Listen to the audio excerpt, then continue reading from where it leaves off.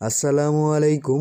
নবম শ্রেণির বাংলা বইয়ের বিয়াল্লিশ ও তেতাল্লিশ পৃষ্ঠার কাজগুলোর উত্তর নিয়ে এখন আমি আলোচনা করব। তাহলে চলুন শুরু করা যাক প্রথমেই বিয়াল্লিশ পৃষ্ঠায়। পরে কি বুঝলাম? পরে কি বুঝলামের এখানে বলা হয়েছে, উপরের দুটি নমুনা রচনার ভিত্তিতে নিচে কয়েকটি প্রশ্ন দেওয়া আছে। তোমার সহপাঠীর সঙ্গে প্রশ্নগুলো নিয়ে আলোচনা করো, সংক্ষেপে এগুলোর উত্তর তৈরি করো এবং উপস্থাপন করো। উপস্থাপনের পরে শিক্ষকের পরামর্শ অনুযায়ী সংশোধন করো। এখানে প্রথম প্রশ্নটি হলো, ক, এ ধরনের লেখা কোথায় দেখা যায়? এর উত্তরে আমি লিখেছি, এ ধরনের লেখা সংবাদ প্রতিবেদন সংবাদপত্রে দেখা যায়। এছাড়াও বিভিন্ন ম্যাগাজিনে সংবাদ প্রতিবেদন দেখা যায়। আমাদের সমাজে ঘটমান বিভিন্ন বিষয়ের ওপর সংবাদ প্রতিবেদন করা হয়। এরপরের প্রশ্নটি হলো, খ, এ ধরনের লেখার উদ্দেশ্য কী? এ ধরনের লেখার উদ্দেশ্য হলো, উত্তর, এ ধরনের লেখার উদ্দেশ্য প্রচার প্রচারণা করা। সংবাদ প্রতিবেদনের মাধ্যমে কোনো বিষয়কে পাঠককে নির্দিষ্ট তত্ত্ব বা নির্দেশনা প্রদান করা হয়।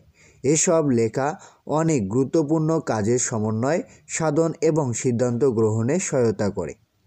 এরপরে গ নম্বর প্রশ্নটি হলো, এসব লেখাকে প্রায়োগিক লেখা বলা হয় কেন?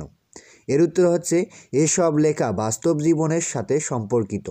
সংবাদ, প্রতিবেদন, কোনো বিষয়ে প্রচার প্রচারণার মাধ্যমে জনসচেতনতা সৃষ্টি করে। এ প্রতিবেদনগুলো অনেক সময় ব্যক্তিগত সামাজিক সমস্যার সমাধানে সহায়তা করে।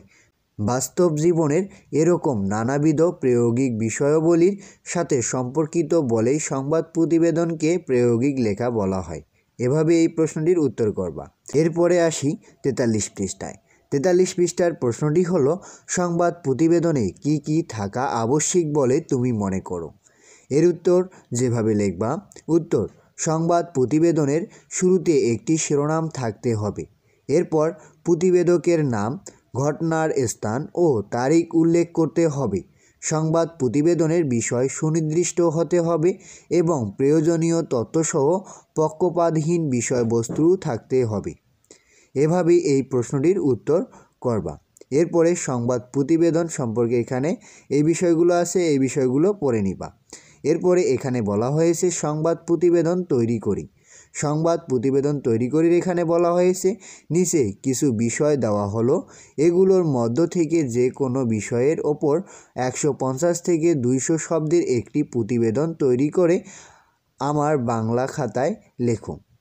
লেখা হয়ে গেলে শ্রেণির অন্য শিক্ষার্থীদের সামনে উপস্থাপন করো। এখানে সংবাদ প্রতিবেদন লেখার জন্য কয়েকটি বিষয় দেওয়া আছে। এই কাজটি করার জন্য তোমাদের অষ্টম শ্রেণির যে বাংলা ব্যাকরণ বইটি রয়েছে, এই বাংলা ব্যাকরণ বইটি থেকে তোমরা কি করবা?